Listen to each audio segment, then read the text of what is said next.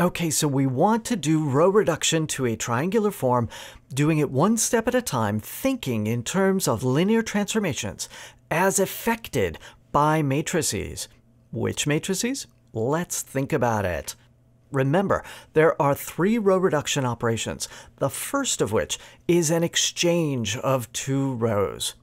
Let's work in the context of a specific example. Let's say, I don't know, A is a 4x4 matrix, and we want to switch the first two rows. And think of that as some matrix R times A.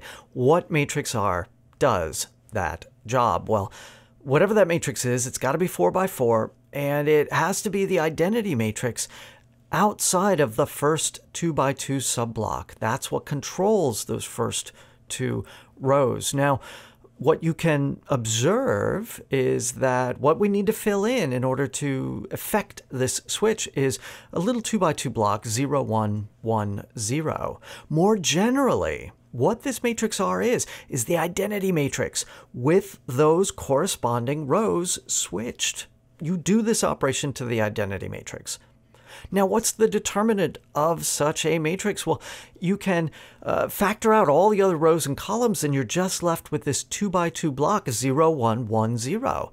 And that has determinant negative 1. In general, any matrix that winds up switching two rows is always going to have determinant negative 1. That solves everything for us on the algebraic level. What does it mean geometrically? Well, remember that we interpreted the determinant as a volume of a parallelepiped, but we had to take absolute values in there. Why? Because the determinant is really measuring an oriented volume. So, what are we doing when we're switching two of the rows? Well, um, you know, it's as if we're exchanging the vectors. We're not changing the volume, but we're just changing the orientation of the volume on that parallelepiped. Okay, that's the first operation. The second operation is rescaling of a row by some factor. Let's say in the same uh, example, we take the third row and we triple it. What matrix R does that job? Well, that matrix has to be the identity matrix, except for the third row in which case, instead of a 1 on the diagonal, you have a 3 on the diagonal. Check it, check and make sure that that does the right thing. This holds in general. Now, what is the determinant of such a matrix? Well, in general, you're going to have an identity matrix, and one of those diagonal terms is going to be replaced with a constant c instead of a 1. Oh, well, this is easy. This is a diagonal matrix and therefore triangular, and therefore the determinant is the product of the diagonal elements. In this case, 1 times 1 times 1 times 1 times c. The determinant is c. Okay, that's the algebraic perspective on this. What's the geometric perspective? Oh, this is easy to see. If I have a parallelepiped and I triple the lengths of one of the component vectors that de defines it, then of course I'm going to triple the volume. Okay, so row multiplication by c changes the determinant by a factor of c, and we can understand that algebraically and geometrically. Last operation, this is a combination of two rows.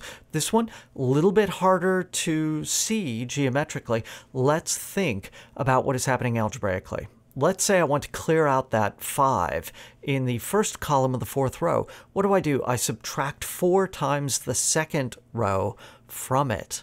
What matrix affects that? Well, it's going to be an identity matrix in the first three rows. In the last row, what I get is exactly what I do to the identity matrix with that same operation. I'm subtracting 5 times the second row of the identity from the fourth row of the identity. Now, check and make sure that works. In general, if you um, add a multiple, say C, of one row to another row, you wind up getting a lower triangular matrix or an upper triangular matrix, and that has determinant equal to 1. From a geometric point of view, this is a little bit like shearing. Back when we looked at linear transformations involving shearing, you remember that? That had an off diagonal term. That's exactly what we're doing in this case. And recall that shearing does not change area, volumes, things like that. So from an algebraic perspective and a geometric perspective, what we see is that that third operation, row combination, leaves the determinant the same.